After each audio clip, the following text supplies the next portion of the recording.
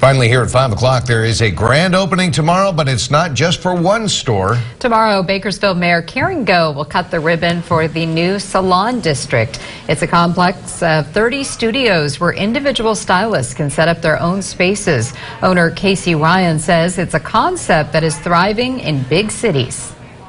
We have everything from estheticians that specialize in skincare to stylists to help you with new hair trends uh, to even coming in and getting manicures and pedicures.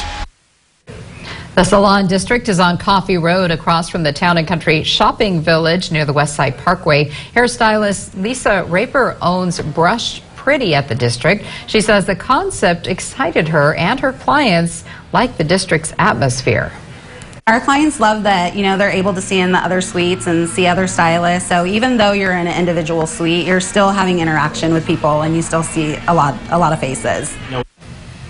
The grand opening party is from 3 to 6 tomorrow afternoon. Ryan says there will be raffles and free giveaways plus a live DJ. Hmm, great concept. Yeah.